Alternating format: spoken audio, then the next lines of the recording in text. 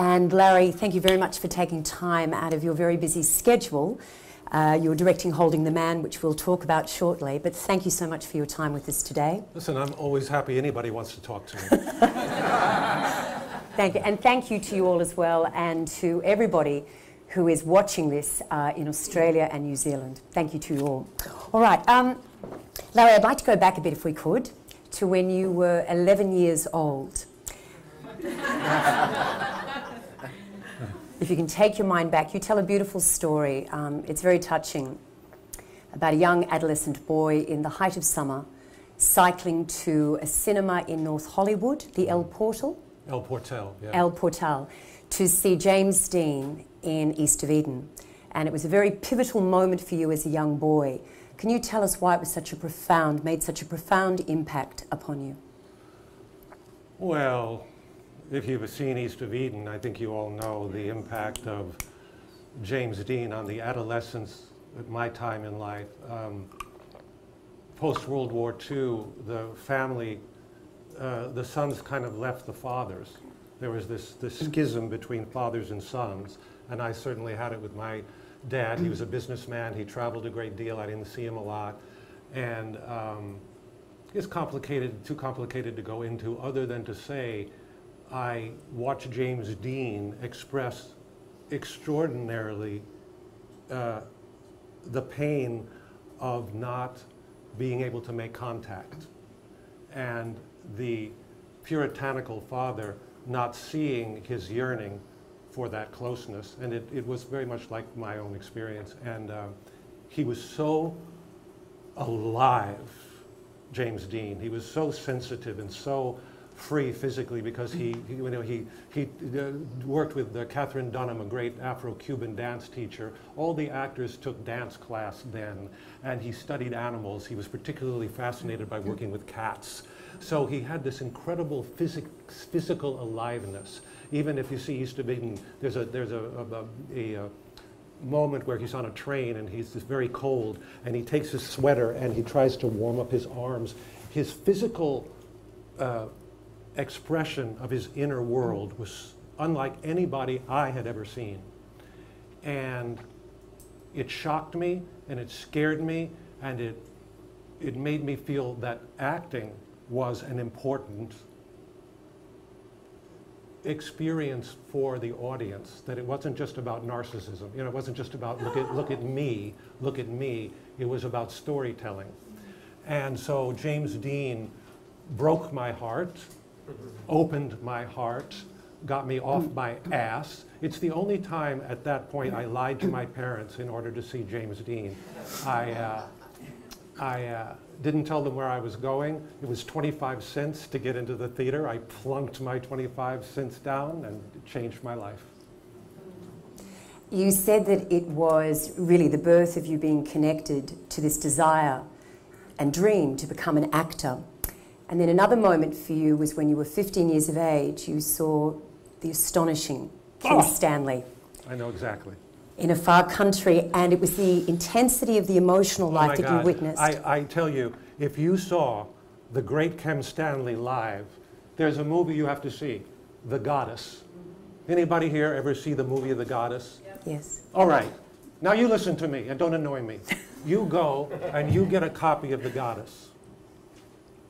Then get a copy of Seance on a Wet Afternoon and just sit there and go, oh, Oh, I see.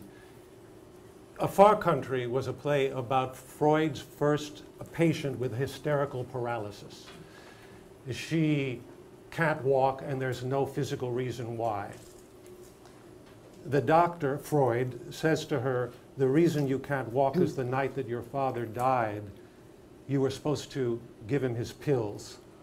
You were supposed to take care of him. But you wanted to go out. You wanted to be young and you didn't go, and he died.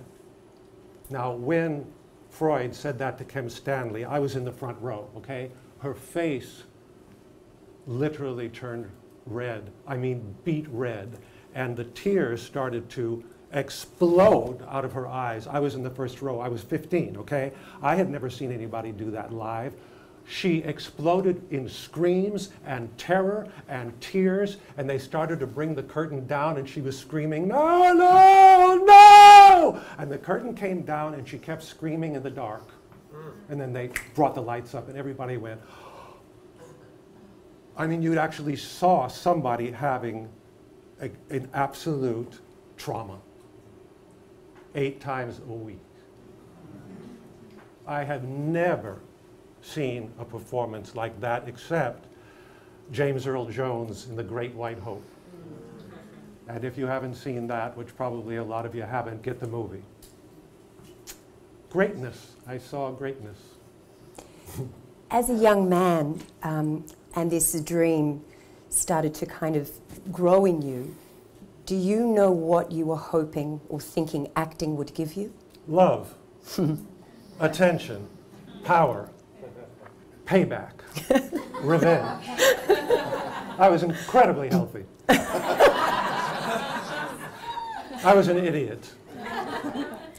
And then I woke up after many years of therapy, many, and working with Sandy Meisner, Stella Adler, working on stage uh, with Jerome Robbins, Neil Simon, and Michael Bennett, and Joe Layton, and Burt Shevelove. And they made me wake up. they said, You work hard, Larry. You get off your ass and you go to work.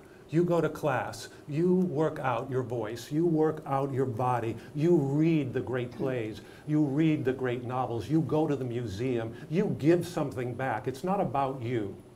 And this is my 43rd year of teaching, and I promise you all, actors, this is right. If you're waiting for somebody to give you it, there's no there there. There's just work. The joy to do a play, to work with other actors, to work with great writers. Without the writers, if you don't know the great writers, listen, I was an idiot. I'm not, I'm not just saying that to be, Arnie, isn't he charming? He's being so self effacing. That's horseshit. No, I'm talking about reading Strindberg and Ibsen and Shaw and you know Miller and, and Williams and um, all of the great and clearly I've been seeing so much Shakespeare recently. You know, you know the greatest sellout on Broadway this year, Mark Rylance, doing Richard III at 2 p.m. and Olivia in Twelfth Night at 8 p.m. And you could go and watch him prepare. You could go in at half hour and he would prepare with all the other actors on the stage. So when he was playing Richard III, he was talking to the audience and patting people on the back. And it was so wild because he was doing politics. He was making friends. He was preparing to play Richard. When he played Olivia, they were fitting the dress on him. He didn't move a muscle. It was all internal. I went, that's an artist. And he had fun. That was within eight hours. Richard III and Olivia in Twelfth Night. Can you do it? Not very many can, and not very many people work with enough passion to be able to. It's just the truth. I wanted to. Before you woke up, I just want to go back a bit. You describe yourself as a demented puppy in those early days as an actor in New York. And I've heard you say, and I'm sure hundreds of actors have heard you say, that the two things that stop an actor having a successful career are psychological issues and lack of technique. Can you talk about those and the interconnectedness between the two? Isn't she excellent? This is Kim, Kim who runs a 16th Street studio in Melbourne and they've invited me to teach there, and it's a glorious experience. So thank you, Kim. Thank you. Um, yes. I think you all know that to be an actor is very difficult. You know, I mean, it's the old proverbial rejection. If you have insecurities, God knows acting will bring it up. If you want attention, if the casting director looks at you without support or, the, or they dismiss you and that goes too deeply into you, that's a psychological problem. It's not personal. Show business is the least personal experience in the world. Nobody gives a rat's ass about you. The director is saying, can they make me look good? Can they, more importantly, tell the story that I want to tell? It's not personal. None of it's personal. When you, I, I had uh, uh, directed a wonderful play called Beast on the Moon off Broadway, and uh, a wonderful actor named Omar Metwally. Uh, some of you may know him. He's a wonderful actor, He's Egyptian and he came in, he had to do a monologue, which he completely had to break down. I mean, deep, deep, deep, watching his uh, family be murdered, seeing their heads on a clothesline. That's the memory he had to remember. Literally, their heads decapitated, hanging on the line. And Omar came in, and he just killed it. I mean, he was, he, that memory was real. And I went, as a director, I went, oh my God, could he do that again? So I said, Omar, come back tomorrow, same time, do it again. Because I was so moved by what he did, and I thought, does he have the technique to be able to do that eight times a week? And you know what? He did. He came right back and hit it. I went, you're hired. It's technique. It's not about, do you like me? Am I going to be a star? It's horseshit, everybody. It's crap. You can be as good as you want to be based on the passion you have to bring stories to life through character. If that makes you passionate, then look at Daniel Day Lewis. I was fortunate enough to have a talk with uh, Steven Spielberg when he was uh, getting ready to shoot or getting ready to do Lincoln. And he said, we want Daniel Day-Lewis so much. And uh, we just had a meeting with him to see if he'd do it. Daniel Day-Lewis came to the meeting with four portfolios about yay thick. He knew more about Lincoln for a meeting. Uh, uh, and uh, Steven Spielberg said, more than me or Tony Kushner who wrote it. But when he realized how passionate they were, Daniel Day-Lewis said, yes, I'll do it. I need a year. That's how much homework he was going to do. So I, I get very emotional when I talk to actors because I, I am you. I know your hearts. I don't know you, but I know your heart. I know the desire. And I know the tragedy of laziness, the tragedy of entitlement, the tragedy of it's about me. It's not about you. It's deeply about you. And it's not about you. And once you understand that, you're free. You're free to read the plays and bring them alive. And then maybe you'll get a movie that the world will see, like James Dean did and Daniel Day and Meryl Streep. Meryl Streep says, I never give a character less respect than I give my own life. I like that. Larry, is that tied in with, um, you said you made a decision at some point not to destroy yourself because um, learning about the craft of acting saved your life or mm. helped you to live. Mm. Can you expand a little more upon that? Oh, people. I, I uh, my um, mother was a paranoid schizophrenic. And so I grew up with a lot of terror. And when you grow up with mental illness, some of you I'm sure have, you never have a chance to find out your own self because you're always busy protecting yourself or wondering what's going to happen next. And when I saw the great actors, they mirrored back to me my own anguish, but they also, more importantly, mirrored back joy, the joy of creativity. And I said, my mother is a sick woman and she's not going to get better. And my father has problems and I have to get out. and go into the theater and find a way to live. And though it's a bit melodramatic, what I just did, that I'm saying it because I want you to know that when I wrote my book, I didn't write the intent to act. I wrote the book called The Intent to Live. Because I think that's what great acting is. I don't think you can say, oh, that's acting. That's life. You go, oh, that performance. That's, that's, that's what life is like. I mean, what Jared Leto did in, in, uh, you know, in that uh, film, you go, that's not acting. He found the heart of that transgender person, and you felt their background, you felt their body, you felt their breath, you felt, you know, that goes beyond show business, way, way, way, way beyond.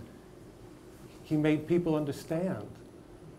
Well, I did a movie called uh, The Green Mile and worked with the wonderful, bless him, Michael Clarke Duncan. And he was very, um, very not wanting to work with me. Uh, and uh, he said he never worked with a coach before, and they, they made him come to me. And he said, Mr. Moss, I don't want to be here. I said, Well, Michael, I'm sorry. Sit your ass down because you've got to get through me before you get to the screen test. So he did. He's about, you know, Michael, if you saw the movie, just. I said, Michael, tell me everything about you. And in about an hour, we were holding hands. Really. And his background was, you don't want to know. You don't.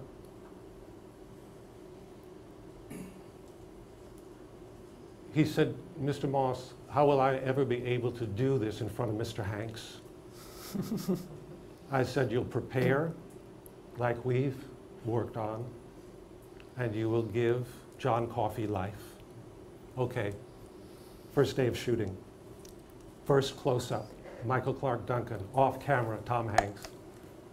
He starts to prepare. His cheek starts quivering. Frank Darabont, wonderful guy, said action. And Michael delivered first take. And Tom Hanks walked away and said, Jesus Christ, which of course is who he's supposed to be, John Coffey. He's a, he's a, he's a symbol. And after it, the movie had come out and it was a great success, I said, how do you feel, Michael? And he said, Mr. Moss, he would not call me Larry. It made me so pissed. I, I said, how do you feel, Michael? He said, Mr. Moss, when I used to walk into an elevator, people would back away. Now, they shake my hand. And that was Michael. And you watch that movie, and that's his soul up there. That's not acting. He delivered. And that's there forever. So I bless him because he was extraordinary. Sorry.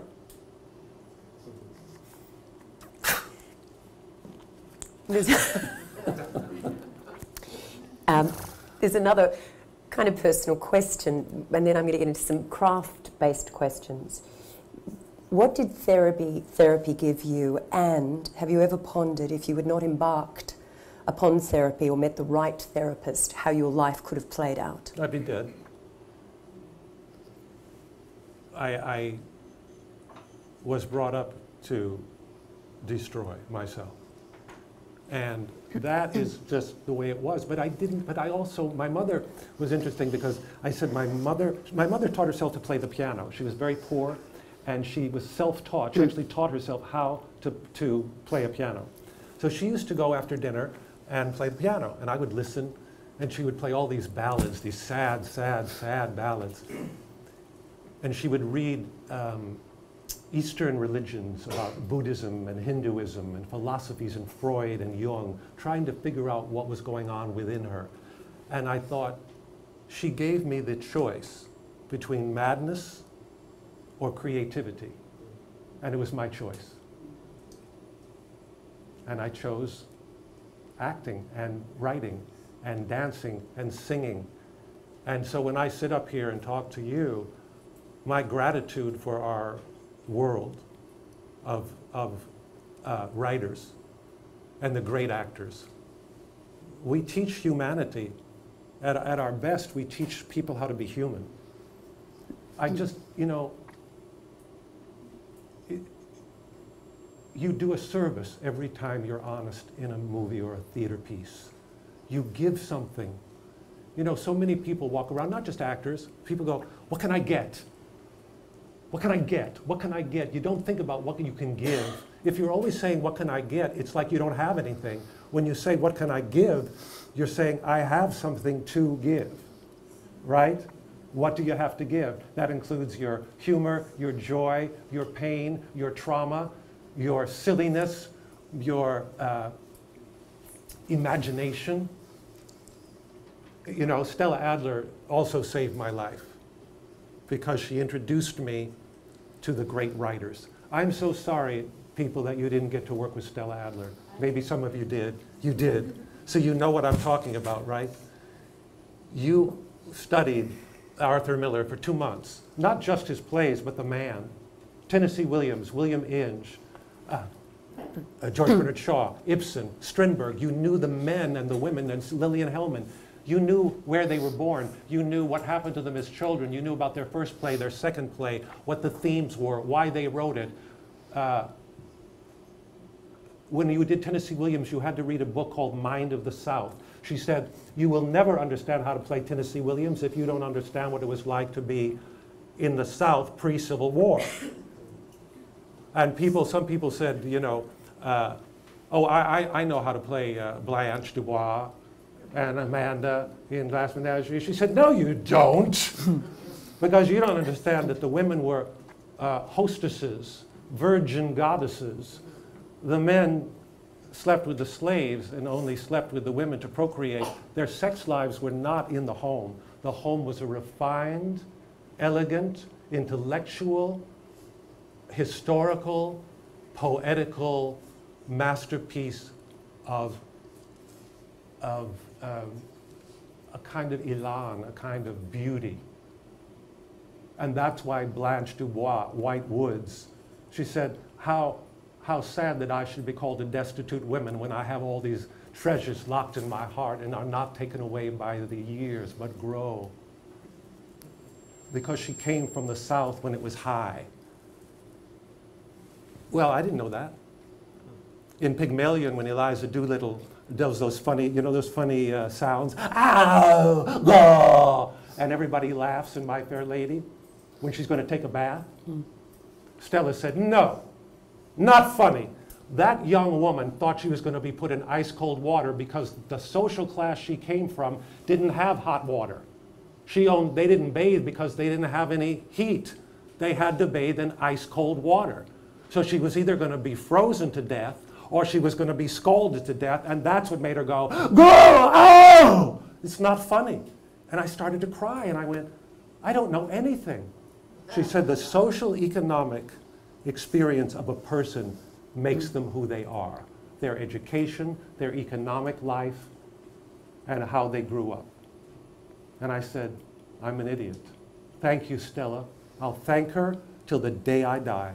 She gave me the writers.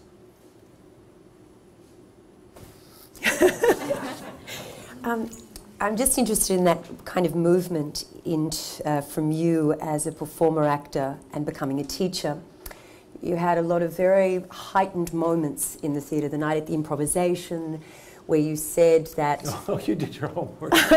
you had an experience where I think you say the audience's response was atomic, and that you were able to pour every part of yourself into those songs. And then um, when you did Neil Simon's play, God's Favourite, so you had extraordinary moments as a performer and actor. And I think you said the electricity that you experienced was something you had never experienced before in yourself and never have since. How did you move from being an actor, performer, to becoming a teacher? And I think Warren Robertson, we were talking about that with Annalise before. Can you talk about that evolution? How that came about? You all love acting, and you love music I know you do. And you love great work.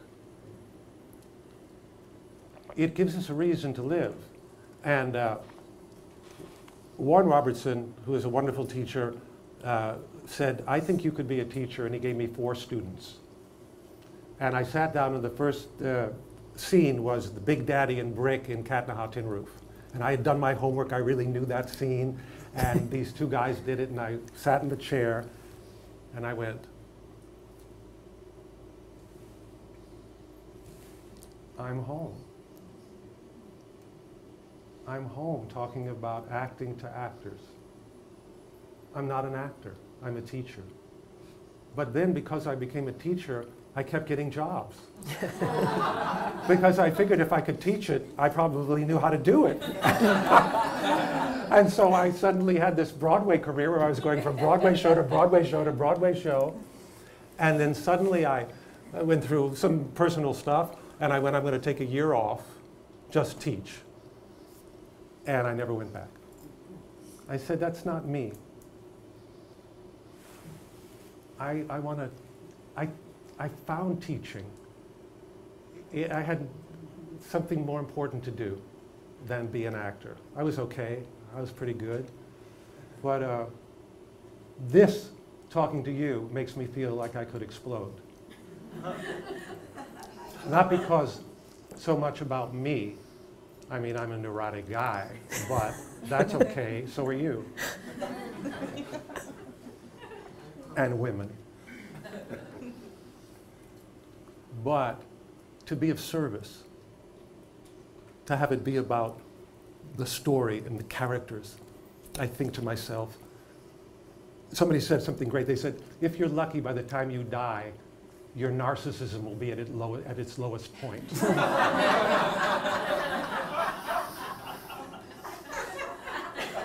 what about me? You'll go, no, I loved you. I loved you so much. Thank you for loving me back. That's the end of life.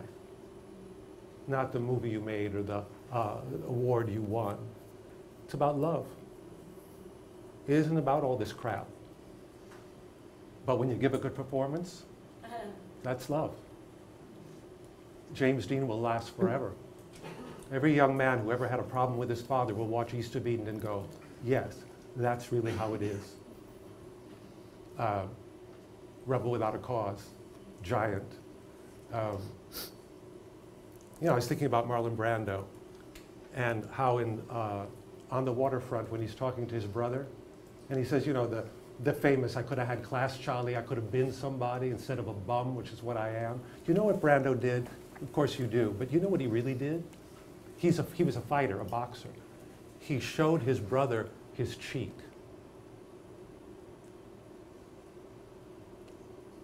I could have had class, Charlie. I could have been somebody instead of a bum, which is what I am. He was like a child, like a vulnerable, fragile, breakable piece of china. Only Montgomery Clift, John Garfield in the 40s,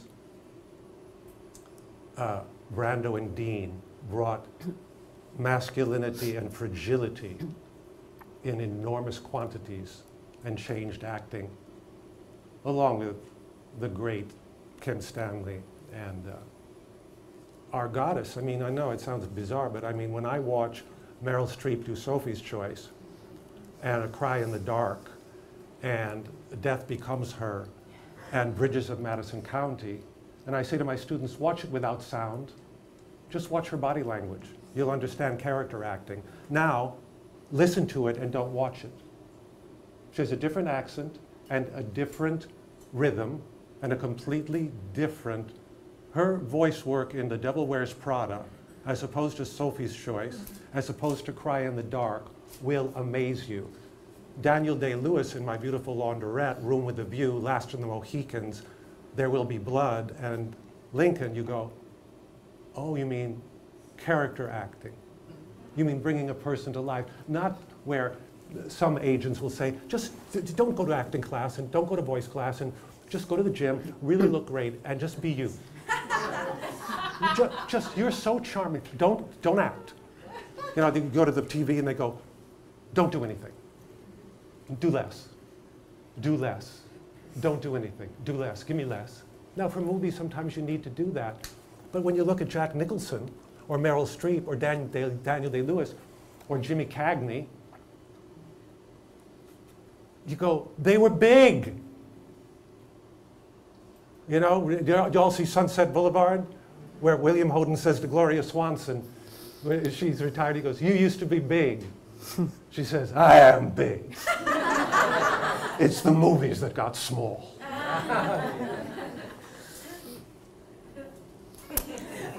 Larry, speaking about being a teacher, Stella Adler said, The teacher has to inspire, to agitate. You cannot teach acting, you can only stimulate what's already there. Do you agree? Yep. But you can inspire them to get off their ass. And you know what does that? Somebody gets up in my class and they do this great piece of work. And everybody goes, that was fucking great. that was great. And people are crying and they go, I want that. I want to do that. And you go, yeah, that's right. You, of course you do. It's not about my agent called me and said they like my ass. you know, then I got a call from an agent and said, can you imagine? They said, do you have any young, pretty people? I said, I'm not a pimp.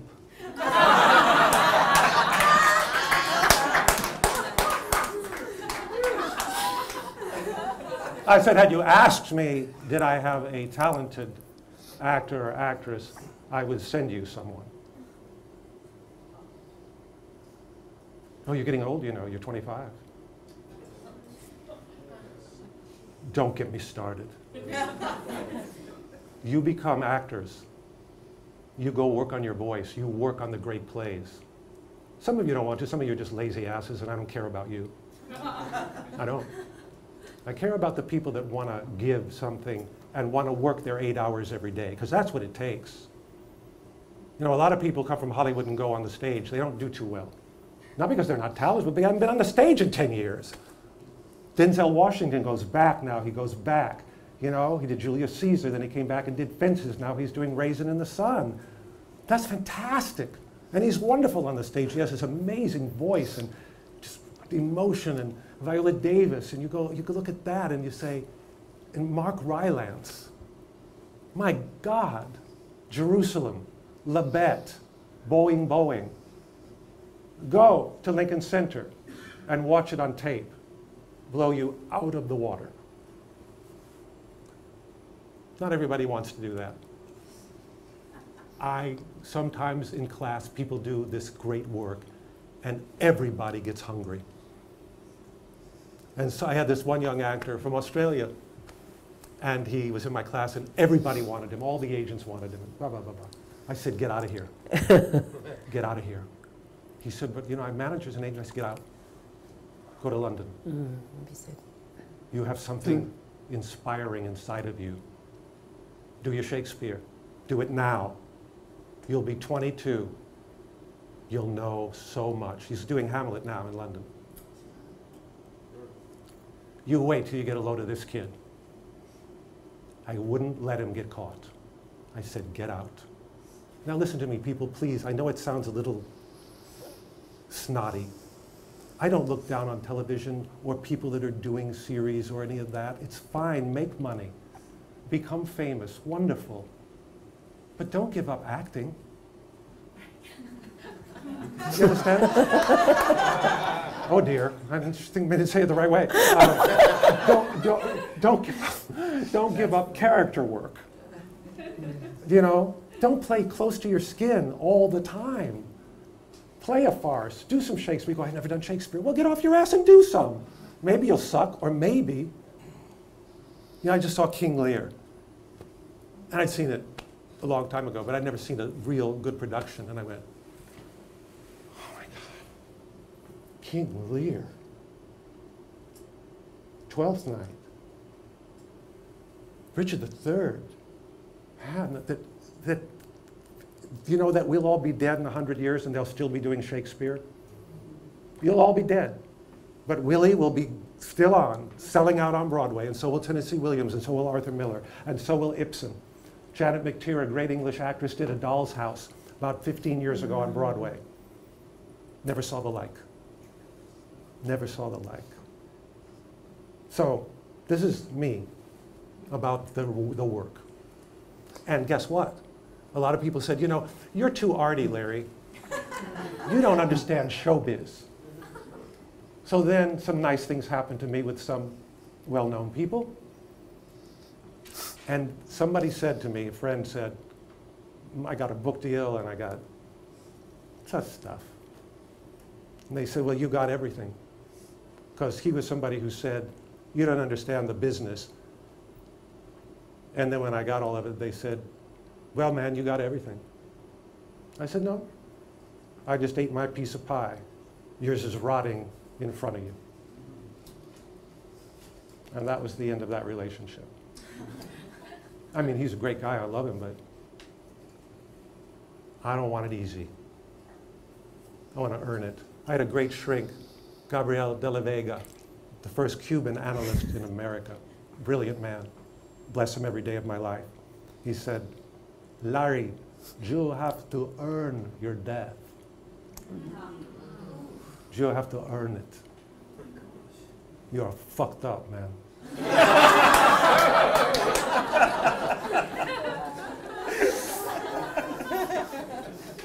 Is he still alive? No, he died right. I went to him five days a week for three and a half years, and then he died. he earned his I death. five days a week with me is nice. Larry, what's the relationship between the facts and the given circumstances that a writer gives you and what an actor brings interpretively to that material? That's a mean question. There was an actor who will remain nameless, who did a writer who will remain nameless. But this particular writer is all about rhythm. And if you're off the rhythm of this writer, the play fails. And this particular actor took pauses that the writer did not write for a moment of truth. The play died a thousand deaths but this actor wanted to be methody and create moments. He said, get on with it. The writer needs to be, he's a verbal, intellectual writer. The words are everything. So when, a, when an actor says, I'm going to do, I'm only mad at Sandy Meisner for one thing, and I loved Sandy, he was a great teacher. He said, cross out all the stage directions. Wrong read them first. See if they're helpful. And if they are not, discard them. But don't be so arrogant as to say, it doesn't matter what Tennessee Williams said, or, or Ibsen, or Strindberg, or O'Neill, because everybody laughs at Eugene O'Neill, you know, terrifyingly, you know. What's he trying to say? What's the writer trying to say to you? What's the clue? The arrogance of saying, I'll say it any way I want to. You do Neil Simon with the wrong breath, you do John Patrick Shanley with the wrong breath. You do David Mamet with the wrong breath. You might as well write home for money. If you're not on the rhythm, you're not on the play. And I don't care whether you agree with me because you're wrong and I'm right. That's just the news. Rhythm from Stella. Arthur Miller's rhythm is not Tennessee Williams' rhythm, it's not Ibsen's rhythm or Strindberg's rhythm or Shakespeare's rhythm. You know why the English are better than most of us? They are. Because they understand great writing. It's in their blood. Mm. They have to have voice. They have to have a body. They have to, or they can't get a job. So you look at Mark Rylance, and he just had a big bomb, a great bomb in London. He did Much Ado About Nothing with the great James Earl Jones and Vanessa Redgrave. They were too old. It got murdered. Then he came to New York to do the uh, Richard III and uh, Twelfth Night and rocked Broadway. In other words, he went from a complete failure as a director to a huge success. And isn't that how our lives go as actors?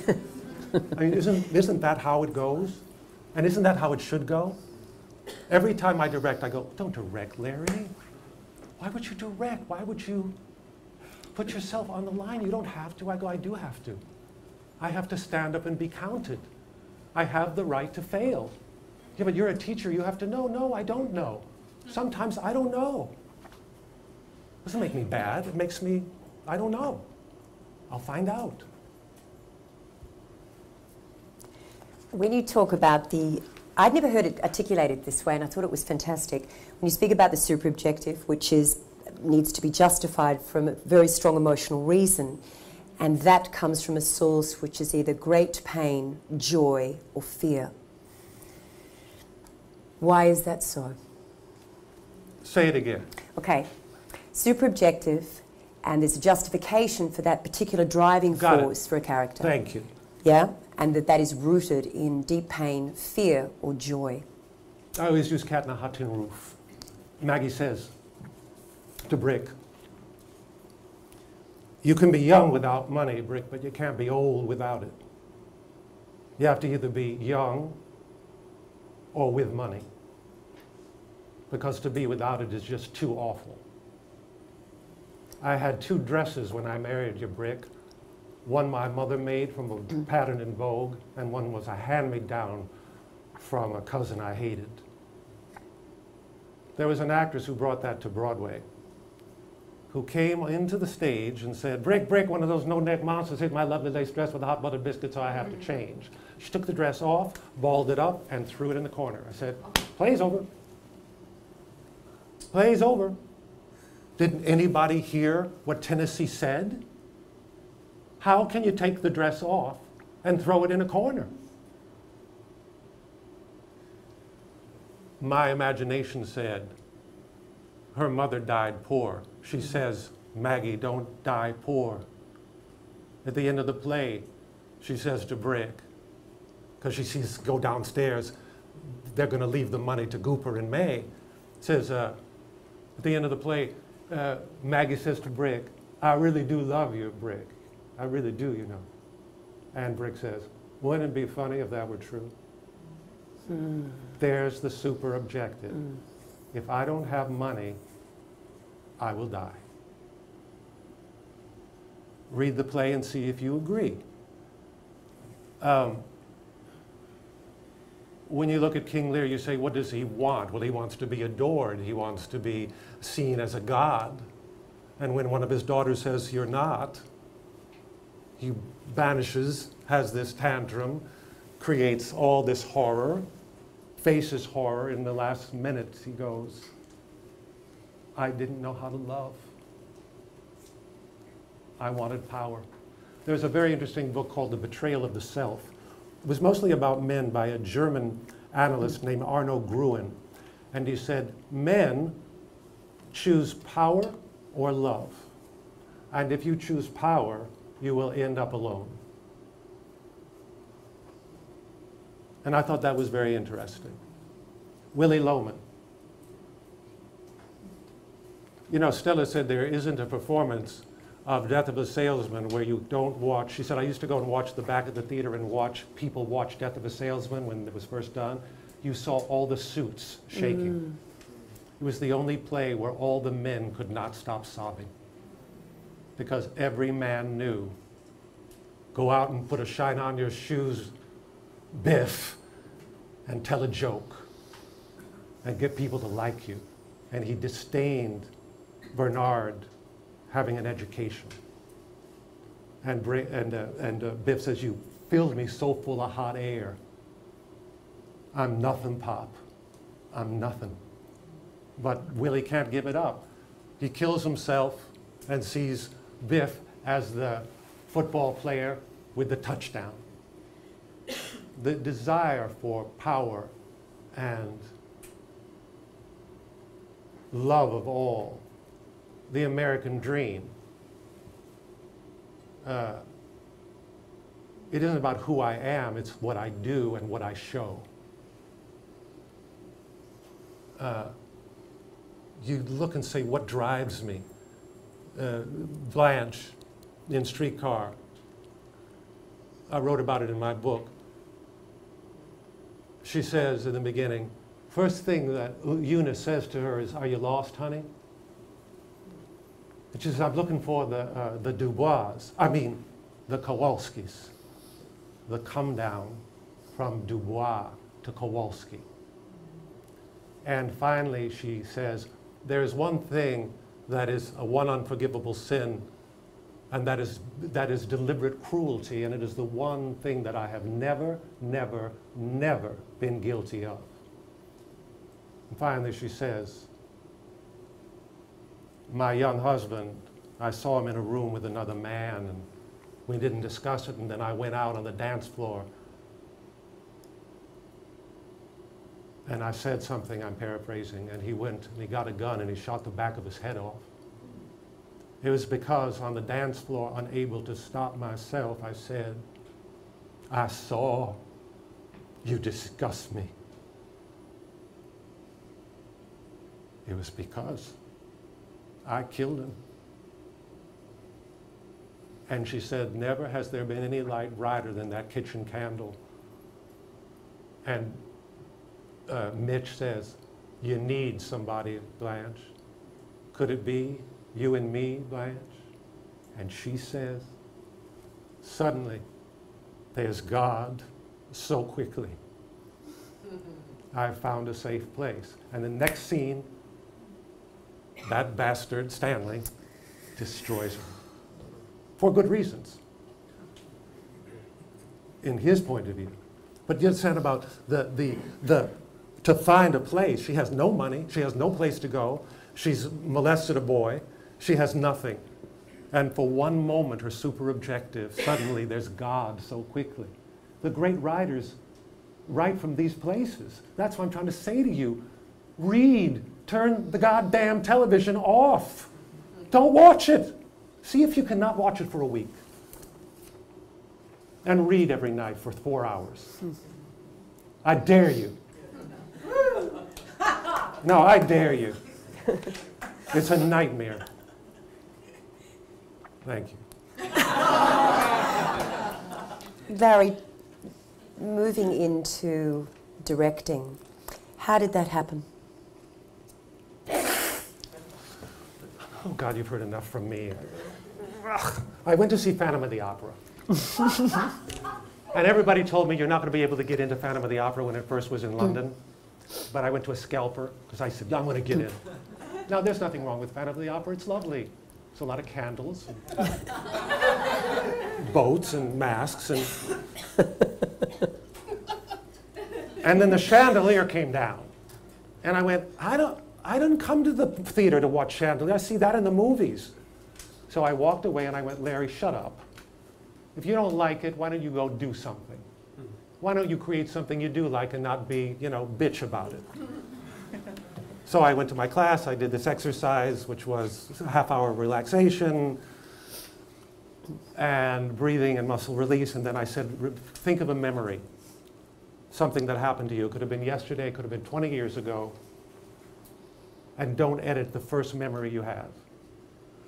Well, within five minutes, people were sobbing. I said, okay. Now remember every, every sensory aspect of that memory. Everything you saw, tasted, smelled, touched, and heard. Did it for 45 minutes. People were clutching themselves, clutching other people. It had hit a nerve.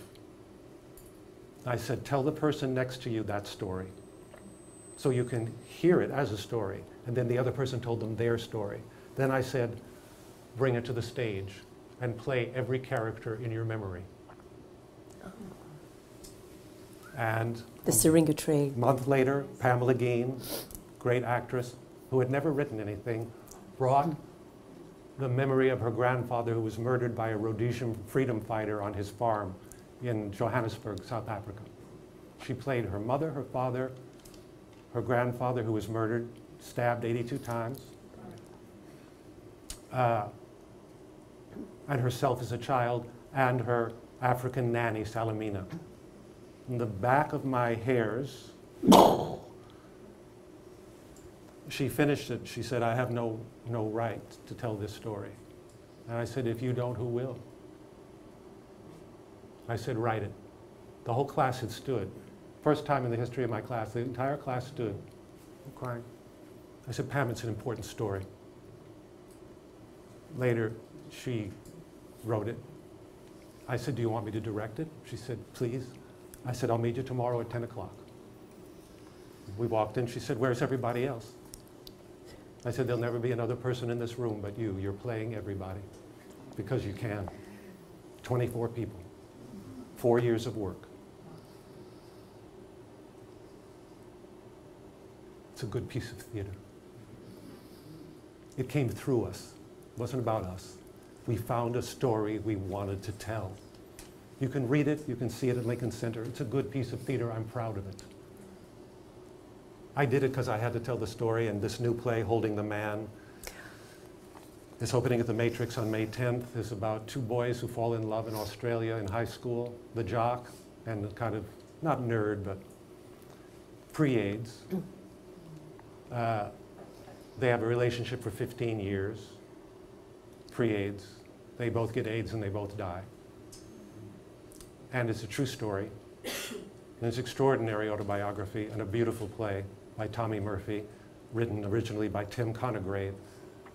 There's the two boys who go for 15 years, they age, and four other actors who play eight, eight parts apiece. So we're in the middle of rehearsal, and it's daunting. But they're fabulous Australian actors, and it's a good story, and I want to tell it. I hope I don't fuck it up. Just on that point, uh, Larry, Elia Kazan said when he spoke about East of Eden, he said, I don't move unless I have some empathy with the basic theme. In some way, the channel of the film should also be in my own life. I start with an instinct.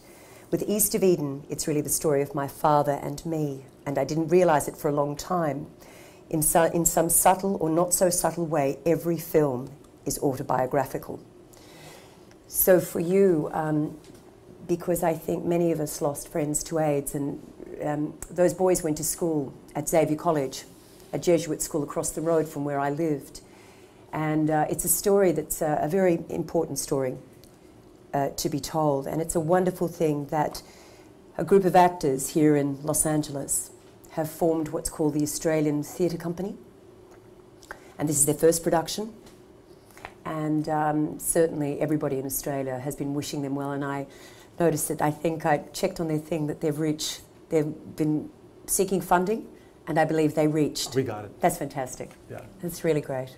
Really, really good. Well, the Australian actors, uh, I love Australia, and I love teaching them and to work with, you know, these, to work with Australians on an Australian story.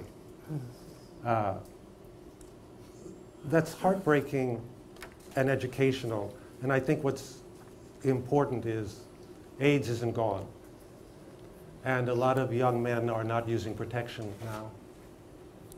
And God forbid we should have, because there's AZT and there's other drugs that are much more sophisticated, nobody almost dies anymore. But then a new strain will come. In other words, you can't be stupid, gay, straight, bi, whatever. You have to be careful. You have to honor yourself. This play is about love, but it's also about, you know, Uta Hagen said in class, um, innocence is the inability to understand consequence, talking about Romeo and Juliet. Innocence is the inability to understand consequence. So I think that the Tim and John in this play had no idea AIDS was coming. We didn't know the plague was coming. We didn't know tuberculosis. Because it had a sexual connotation, it became more of a do you know what I mean? More of a. But it's about responsibility. But what do you do if you don't know about it? You know, people want to demean gays, or they, you know, in, in Africa right now, in Russia. You take a look at the women's movement or the civil rights movement, you go, why would anybody have the right to tell another person that they don't have the right to be who they are if they act responsibly? And so you have to tell stories that are scary. This is a scary story.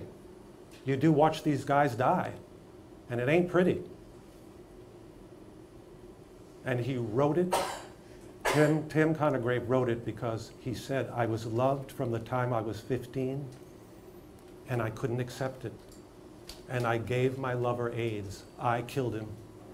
this book is in honor of his love, Holding the Man. It's also about football because John was a footy player in Australia. That was something I didn't realise that Yeah. holding the man is a It's an football thing athletic and is a penalty It's a penalty. for holding the man in football. I Yeah. didn't know that. So interesting. The play is so interesting. Read the book. It's, mad. it's wonderful.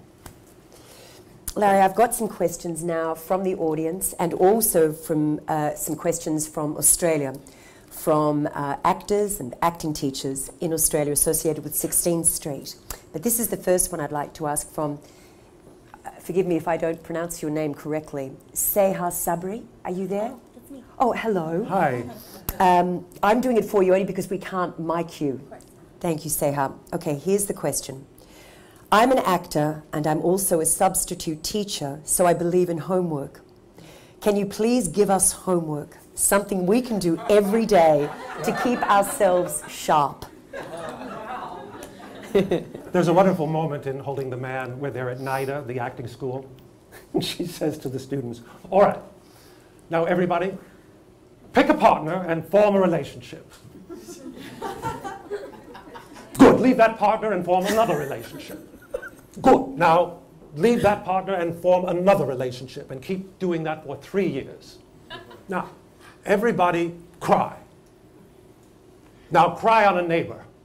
Now really break down. All right, shake it out. I know who that teacher was. That's my acting technique is get emotional every day with text. Have four monologues you do every day. Do your vocal work. Work on animals. Go see the great films. Find a part and work on it every day that you want to play. Um, do something that scares you as a character. Something you don't think you could do but you'd love to do. In other words, be an actor. Yeah. Have, a, have four monologues you do every day, two classical, two contemporary, and work on them every day. And make different choices, different intentions, different physicality. Imagine if you did eight hours a day, every day, on your acting, instead of waiting for the goddamn phone to ring. What if you said to your agent, I'll call you back, I'm in the middle of my work? No, I'm, I'm going to be on a TV series. Good for you. I hope you are. At the end of seven years, playing the same part over and over and over. Who are you going to be? I'm going to be rich. I'm going to be famous. Yeah, you're going to be overexposed unless you get a movie. And if that movie's a hit, if, if, if, to be an actor means you act. You go to regional theaters. You create a theater company like John Malkovich and Gary Sinise did, Steppenwolf, the group theater, where Lee Strasberg and Sanford Meisner and Harold Clurman and Stella Adler and Elia Kazan and Bo- Bobby uh, Lewis. Lewis. Do something. Give something. The, the, the, all the different nationalities, I, I work with many uh, African American and, and uh, Japanese and Chinese and uh, Hawaiian, and people say they don't want us. I go, shut up. Hispanic, I go, shut up. I don't want to hear your problem. Go write a play. Go get a partner and make a play, make a movie, write a story. Shut up. I don't want to hear how hard it is. We're free to do what we want to do in this country. I don't want to hear your problems. Shut up. Go do something. This is a question from, I think, one of the finest actresses in our country, Kerry Armstrong. She's also a teacher, and her question is How important is empathy in an actor? And do you believe empathy can be taught? Not to a sociopath.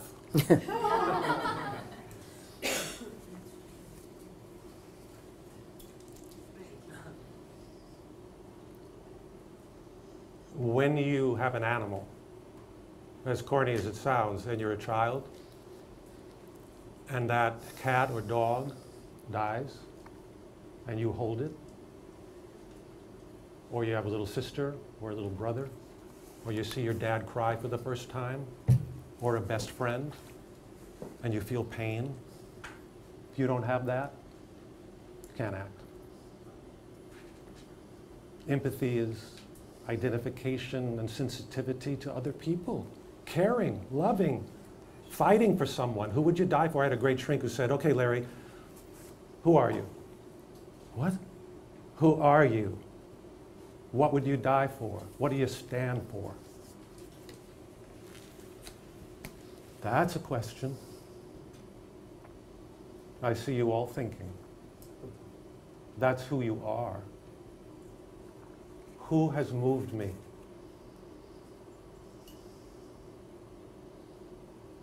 Empathy, without it, you can't be a person and you can't be an actor. Okay. uh, I think probably the answer to this will be swift. This is from the Associate Director of the Actors Studio, Elizabeth Kemp. Her question is Do you feel actors these days don't read enough plays? And if that is so, how is that impacting them artistically and their ability as a storyteller? terrible. We've forgotten how to read. Mm. When, you know, you're reading Dostoevsky, you're reading Tolstoy, you're reading Steinbeck, you know, you're say, saying, oh my God, all the great American writers, I don't know them. Uh, Charles Dickens, I never read Dickens, uh, I never read Hemingway. Sit in a book and imagine as an acting job, reading makes you work on your acting technique because you visualize it all. In other words, without reading, you're not working your imagination. You're just having it fed to you via the television and the internet. So you're weak in imagery. So reading, when it goes, we're all going. You're going down. Baby, you're going down unless you open a book and understand what it is to have a love affair with a great book. There's a wonderful book called Ironweed. It's one of my oh, favorite books. And I remember reading that book and thinking to myself, I'm the happiest man in the world right now reading this book. I just couldn't. I just, I wept when it was over. A book becomes your friend. Who's your favorite writer? Who's your favorite playwright? I read, because it's my job, I read all the time and I'm so happy. And my television broke and I didn't get it fixed. I could give shit about television. Who cares? Unless it's a good cable show. Great. And there are good television shows. Don't get me wrong. I'm saying where are you're going to be in 10 years. Do you even think about it? You know, a lot of actors in the uh, days in the 50s and the 40s, they go, I want to play that part by the time I'm 30. By the time I'm 40, I want to play that part. By the time I'm 50, I want to play that. And then I want to do my, my I want to do my Hamlet, and then I want to do my Lear, and then I want to do my Benedick, and then I, I want to do Stella, and then I want to do Blanche, and then I want, and then I want to do, uh, I want to do something like, like, like Meryl did in Sophie's Choice. I want to play uh, uh, Russian or, a, a, a, you know, what's your blood memory? What's your nationality? Where did your great grandparents come from? Do you know that that blood memory from your great grandparents are the parts you can excel in. Like I, I have Russian and English blood. I'm brilliant in those parts. Can't, can't catch me. It's in my blood. My mother was from New Orleans. I got it. I got it right in my heart. If you look at your, at your past and you start working on those parts in class, you won't believe what happens. You'll start to cry and you'll go, why am I crying? Why am I crying right now? My Jewishness, I remember I went to a Seder and it's complicated my religious stuff, but they were doing the prayer of the Seder, and I was over my matzah, and I just started sobbing, and I went, what is that? What is that earthquake? And then I went to Germany to teach for the first time, and I stood in front of 200 artists in Germany, and I was shaking. And I didn't know why, and I looked out and I said, good evening, my name is Larry Moskovitz and I'm a Jewish man. And I'm not saying it for any other reason to say that nobody in this room was responsible for anything that happened during World War II. But I'm afraid, and that's my problem, but I have to name myself. I couldn't even believe I said it. I couldn't believe I did it. But something in me had to. And uh, we became great friends. So that was good. All right. Um, from Sharon. I'm not sure if Sharon tweeted from Australia or is here now. The question is How do you assist an actor in finding proper vocal quality for a character? Great question. Great question. How many notes? Meaning, ah.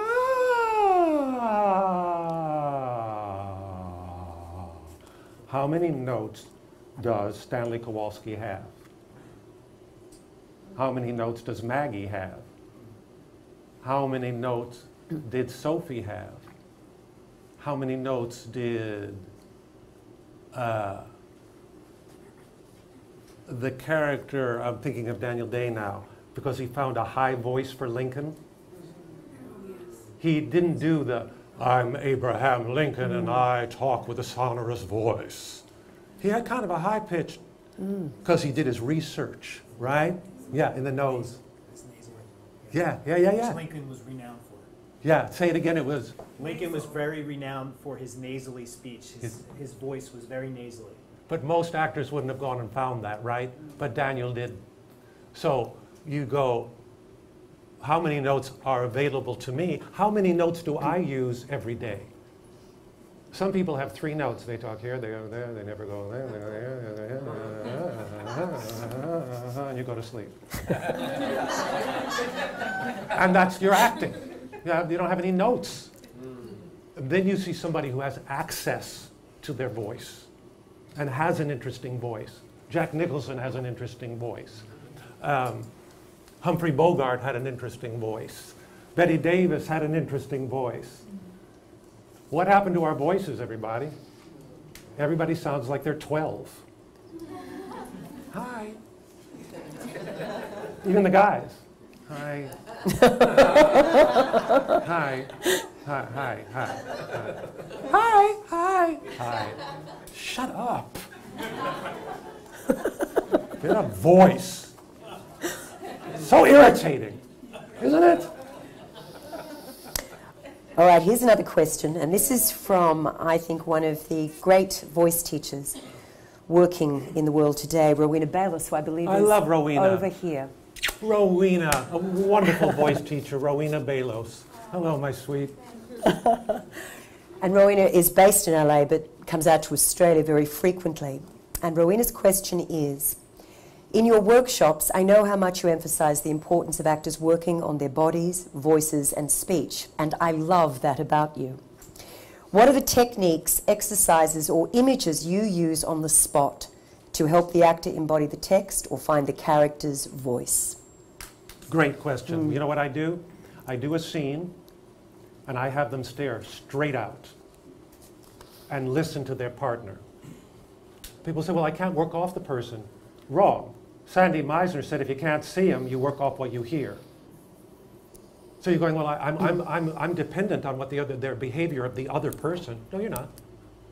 You're dependent on what you hear and, and what the tone of hello is. You know, hello can mean get out of my life. Hello can mean I want to sleep with you. Hello can mean you'll pay for that. So I make them listen not only to the text by not looking at their partner, but by hearing the emotional tone of the vowel. It's just one exercise. Obviously, you work off the person moment to moment. That's the very beginnings of acting. But there's so so it's about respecting the text, hearing the text. Whenever anybody does Harold Pinter, which everybody should work on because he was genius to me. You know, in Betrayal, when, the, when, they, when you know, Emma and, uh, and Jerry says, um, so, how are you? Fine. You? Fine. It's been a long time. Yes. It's all bullshit. It's all a lie. But the English upper class at that time in history didn't go into the feelings until the end of the scene when she realizes she's lost her husband and her lover. She says, from hi, fine, and you, they keep asking each other, how are you? Fine, fine, and you, fine. No, how are you really? Good. And Robert, when was the last time you saw him? Oh, I don't know, I haven't seen him in a long time. Why? Why? And finally, at the end, she says, It's over. It's all over. From high to it's all over. Harold Pinter, baby. Did I answer the question? Yes. um, this is a question from Liam Seymour, an actor who's uh, currently on the full time program at 16th Street. And he wrote, What are your thoughts on the tall poppy syndrome that is a classical curse amongst many artists in Australia? You all know what the po- tall poppy syndrome is that you can't get too successful. You can't rise above others too much because they want to cut your head off. Nelson Mandela said, Who are you not to be magnificent? Listen, this is not easy for me to get up here in front of you all. I mean, I'm looking at you, but you're all looking at me. And I'm supposed to have some sort of something. The little boy in me goes, God, I feel a little nervous. Am I doing okay? And the other part of me goes, You have a right to be here. 43 years. Okay. I won't apologize. I won't apologize for my temperament. I won't try to get you to like me. I don't care if you like me. Thank God. I do care that maybe one person in this room is saying, you know what? I'm going to open a book tomorrow. If I did that for one person in this room, then being charming or likable doesn't mean anything. If you walk out of this room going, oh, I don't like him, fine. You know, somebody said if everybody likes you, you're not doing something right. I like that. Yeah. I'll tell you one thing. I got to tell you this really quickly. Stella Adler. I always tell this story. Stella said, uh, a poor young, pretty blonde girl, poor baby, decided to do Golden Boy by Clifford Odets. And Stella had directed the national tour, and she knew Clifford Odets was a. So the, the, the great scene in the first bench scene in Golden Boy. Uh, success and fame are just a lousy living. You're lucky you won't have to worry about those things. And Joe says, won't I? Unless Tom Moody's a liar. Well, this poor young girl got this much out of the scene. Success and fame or stop! stop! I can't look at you. Darling, you didn't read the play. You don't understand the depression in New York. You don't understand what it is to be on a park bench. You don't understand what it is to almost to be a prostitute. You don't understand anything, so why don't you go die? and we all said, Did she say die? Did, did, did, did, did, did she say die? Die! And, and the girl ran out of the class sobbing. And she said! Run! If you can't take me, how will you ever take show business? Next! I said, Well, I'm not going to ever get up in front of her. She was terrified. Can you imagine? Darn! she didn't give a fuck whether you liked her or not. But boy, did she put a fire under your ass. Stella Adler, babe. God bless her. Well, you clearly had a different, made a different impression on an actor called Sonny Beecher.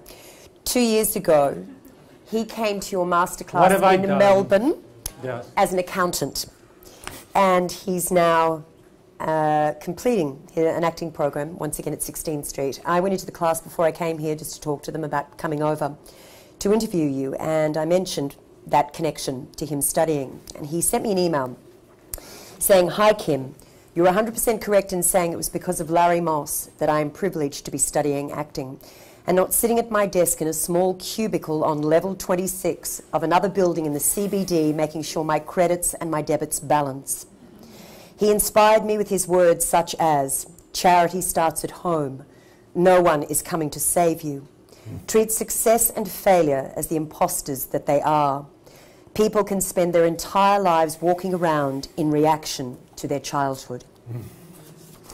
At this stage of my journey, I would like to know how you get to a place where you don't only say these things and inspire people with your words, but also live them.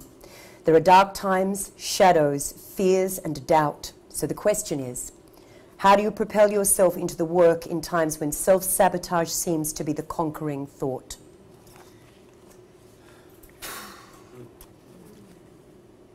You know what they say about suicide?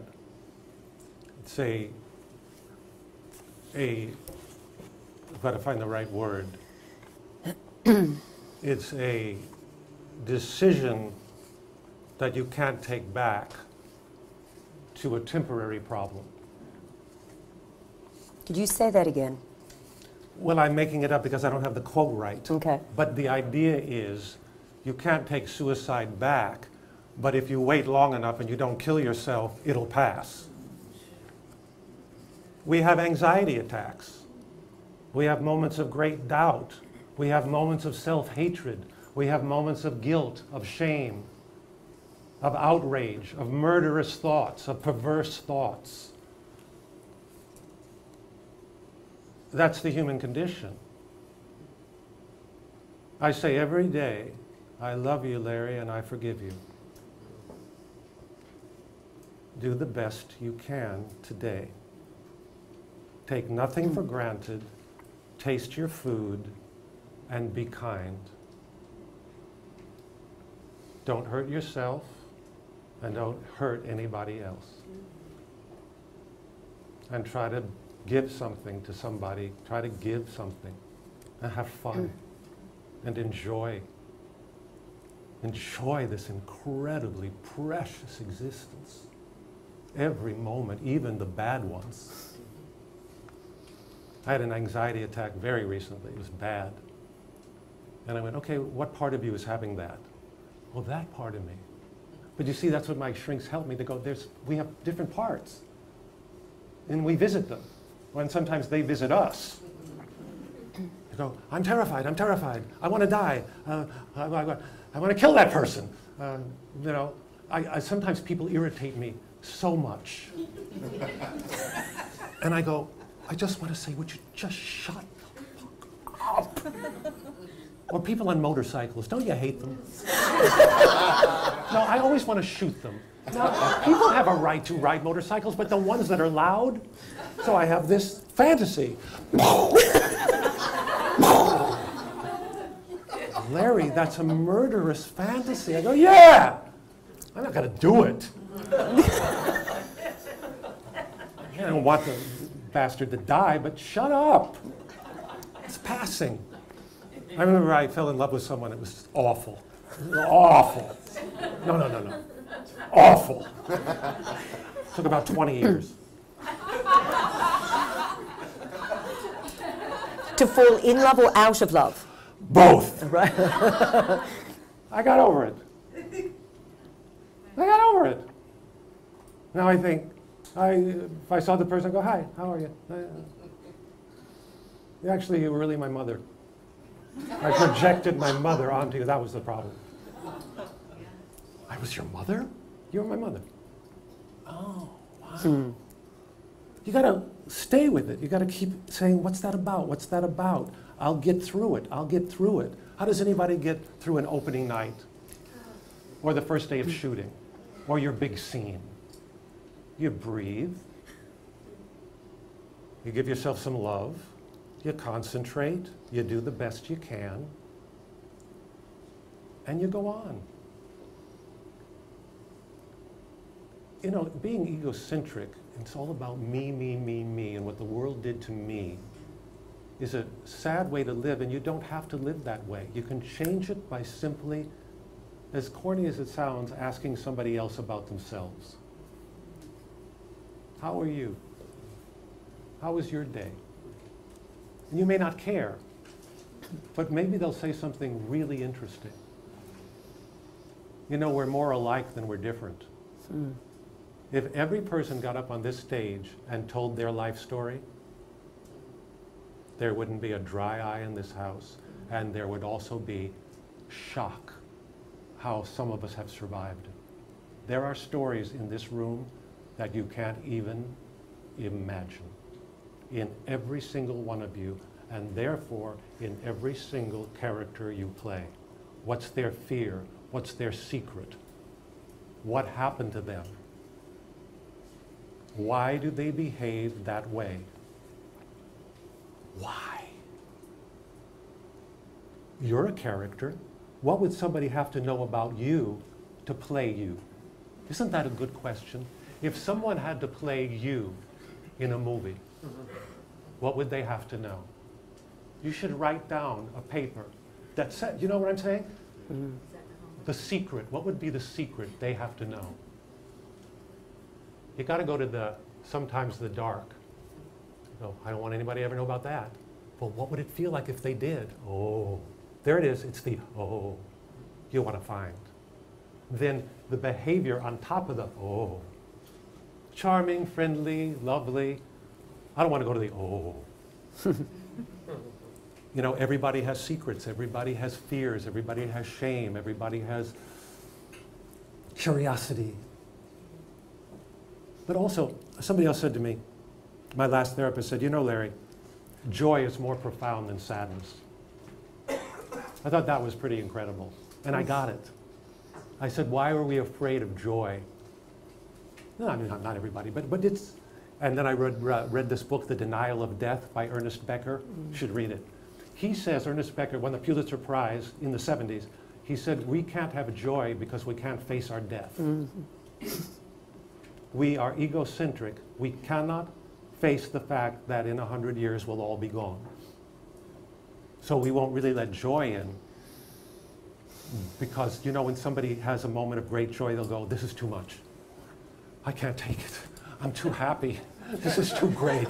I can't stand it. It's, oh my God. You know that feeling? It's the terror of death. Instead of saying, like the Buddhists, we're going to die. No way. Yeah. Better taste your Wheaties. You're going to die. Everybody. So, what does it all mean? The, there was a, a, a, philosophy called the Forum, and the Forum yeah, said, remember that? Sure and the Forum said, life has no meaning whatsoever, only the meaning that you bring to it. I like that. Mm. I thought that was interesting. What did I do today to bring meaning to my life?